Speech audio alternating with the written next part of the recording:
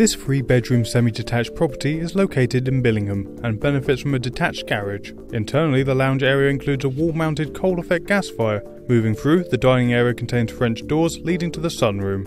Meanwhile, the kitchen is fitted with a range of base and eye level units and has plumbing for a washing machine. Upstairs, there are three bedrooms, two of which have windows overlooking the front aspect. The remaining bedroom has a window to the rear of the property.